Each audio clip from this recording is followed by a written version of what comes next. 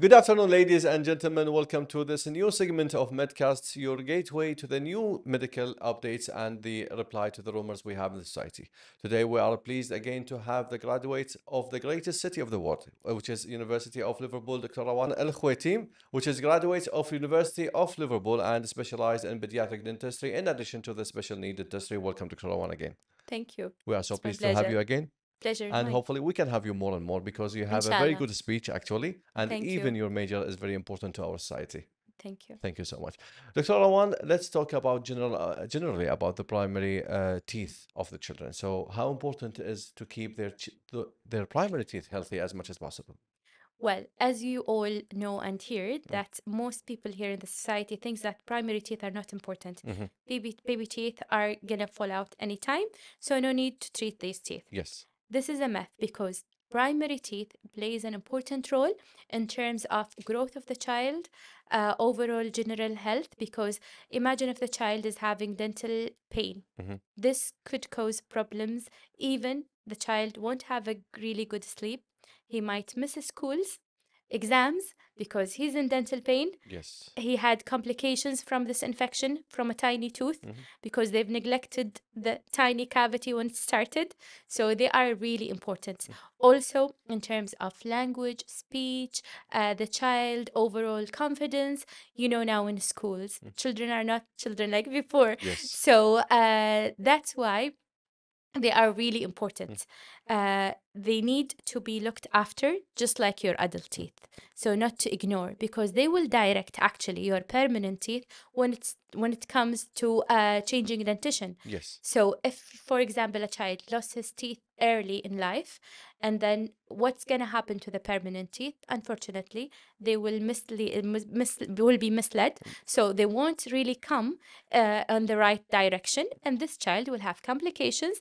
They need to visit the orthodontist to fix and align their teeth in the future. Yes. So while prevention was very easy and uh, very straightforward, s- prevention is always better than cure. That's Yes, why I always stress on Definitely. prevention. Now let's let's get that point into more details, and I mm-hmm. need uh, to explain some point that some parents might believe as well, mm-hmm. and uh, I need you to make me correct actually, mm-hmm. because they think if they go to the dentist, they are only looking for the teeth.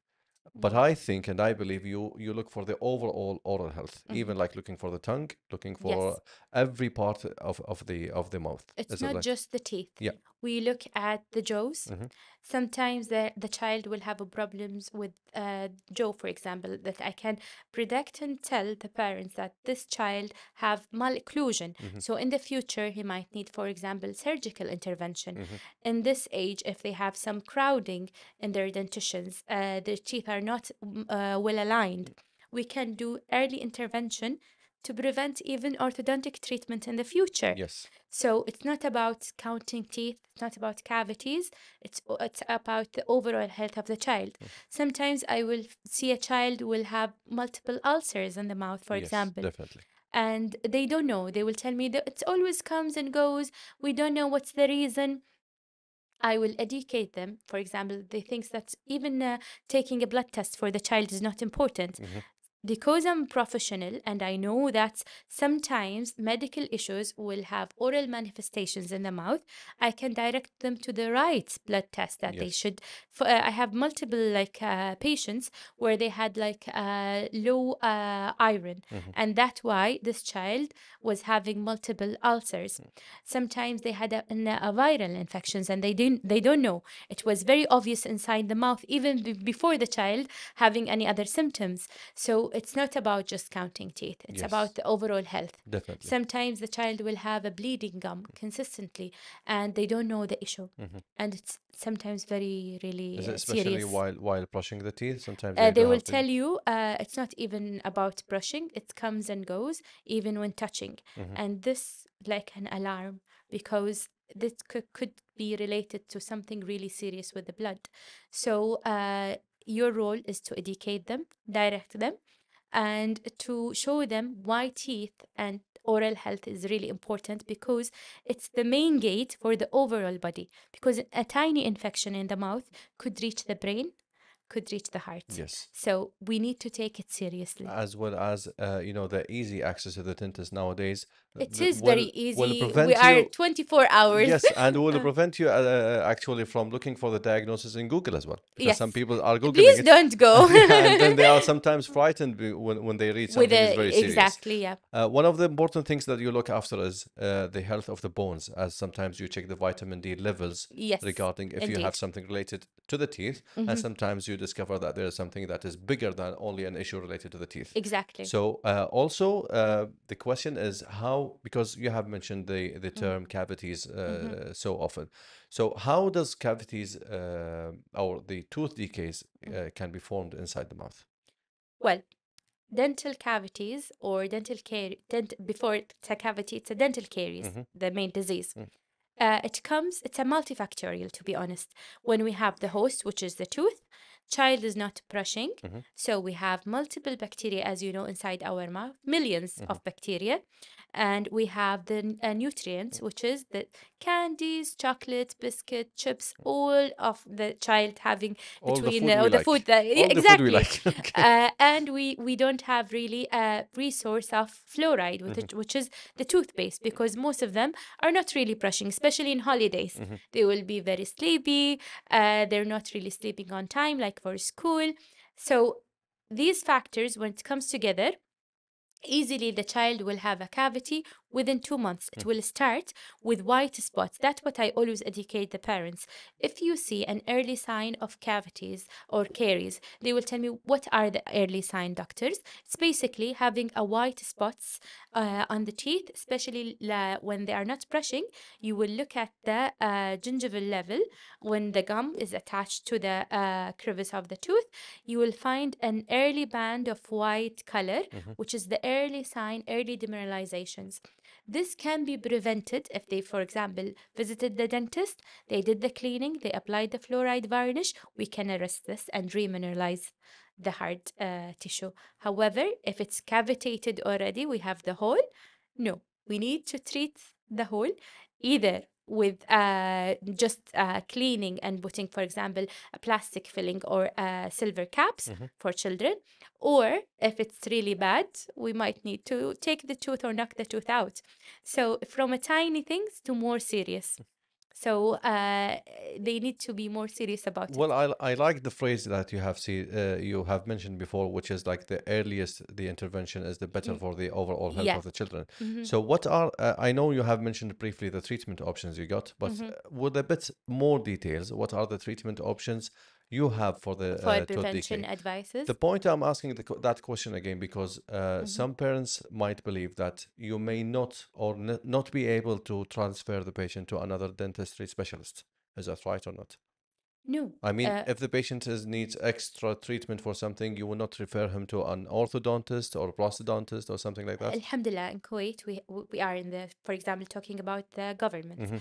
Uh, we we have a multi-center when we do uh, a specialized dental center with mul- multiple specialities. Mhm. We work uh, as a colleague As all a together. multi-team disciplinary. multi yes interdisciplinary team we Mhm. call it so if i'm working with a case that i i believe that they need for example orthodontic treatment Mhm. i can easily reach my colleague on the orthodontic department and the child will have and the parents will have a consultation they will know exactly if the child is needing any further uh, treatment where to go Mhm. and when to go at what at what age because some people think that ortho treatment has to be after the age of 13 and That's the 14 point. That's the no, point. Yeah. now we advise every child to be assessed between the age of 7 to 9. Mhm. If they have any signs of malocclusion or they will be benefit from any early intervention, especially when the child have the crossbite, Mhm. when they're not really biting on the correct way, Yes. it can be prevented easily when they are uh, really young. Mhm. Rather than waiting when the child gets older and then trying the ortho treatment where it gets complicated and they have to lose permanent teeth in order to correct the crossbite. Which might be too late. uh, Exactly. Yeah. And if the child, for example, have problems in terms of impaction, uh, they have teeth that are not coming because of there's like something on the way, extra teeth, or if they have some cyst or something serious in the bone, then I can call my uh, colleague, the MaxFax oral surgeon. We can formulate a treatment plan. That's why visiting the profession who are really uh, specialized for this uh, child as a pediatric dentist will know how, where to guide you, Yes. where to direct you. to We're not miss uh, an easy things on the X-rays. Yeah. So so it's either it's either you treat the thing if you can. Yes, Or or, you uh, I will guide him to seek go for to the professional. consultation and, and advice. One yes. more last questions if you don't mind. Yes, I've, all. So what are I know there is no positive impact on that. So what are the negative impacts if they leave that tooth untreated? if they left teeth, Mm. for example, cavitated teeth, Mm-hmm. as I mentioned earlier in previous podcasts, uh, they will have infection Mm-hmm. that could spread spread anyway anywhere in the face or it, sometimes it gets very serious Yes. when it gets inside your neck and then they will have a Ludwig angina and then it's really serious condition that could lead even to child death Mm-hmm. so not to neg- neglect a tiny tooth especially when you see the sign of swelling it's like a pimple inside the mouth these signs if you noticed it take the child directly to the dentist you can prevent even infection from getting inside his body inside the bloodstream mm-hmm. because it can go anywhere their brain their heart so it's very serious. That's for dental cavities. In terms of malocclusion sometimes when they have the crossbite that could cause even problems for the upper teeth mm-hmm. that could cause a problem in terms of fracturing the upper teeth that could cause problem to the gum. They will have recession especially for the lowers. So it's really serious. Mm-hmm. And you can prevent it easily with a preventative measure and early interception.